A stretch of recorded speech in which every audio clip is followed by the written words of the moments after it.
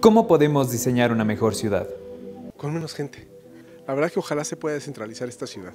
Hay que tomar en cuenta el, el factor humano. Lo primero sería escuchar las necesidades de la ciudad, de los servicios que te piden, de la organización, de la accesibilidad. A partir de la interacción social convirtiendo el espacio en lugar. Tiene que ver con nuevos espacios, con nuevas dinámicas, con nuevos procesos, con nuevas políticas, nuevas oportunidades también para los jóvenes. Tiene que ver con impulsar mejores políticas públicas para ayudar a los ciudadanos, a los agentes creativos. Tomar en cuenta eh, qué es lo que necesita la, realmente la gente y sobre todo eh, tomar en cuenta qué es lo que necesitarían las generaciones futuras. Diseñar una ciudad es pensar en la gente.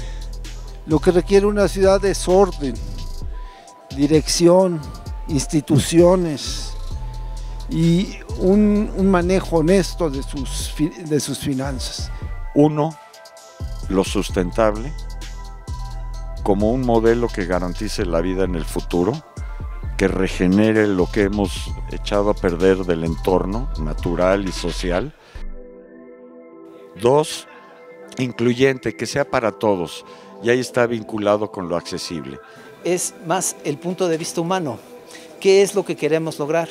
Es tener conciencia de cómo nuestras decisiones técnicas afectan la seguridad del entorno construido pues tenemos el gran reto de qué hacer con el patrimonio construido.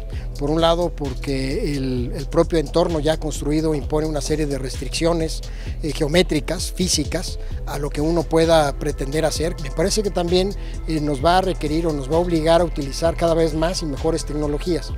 A mí me encantaría que hubiera una mayor interacción entre todos los usos y usos de, inmuebles y clases sociales. Yo creo que en la medida que pudiéramos mezclarnos todos, haríamos una mejor ciudad.